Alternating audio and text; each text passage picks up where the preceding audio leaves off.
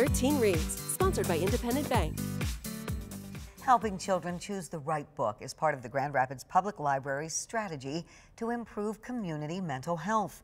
Since the pandemic started, the library has offered a virtual service called Today I Feel. It's designed to help parents select activities and books based on whether a child is feeling happy, sad, worried, or angry.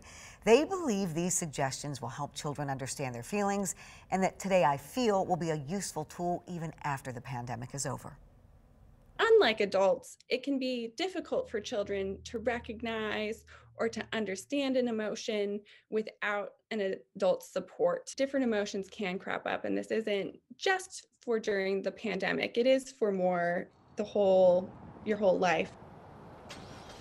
We have a link to Today I Feel and the library's other virtual tools on our website, 13onyourside.com.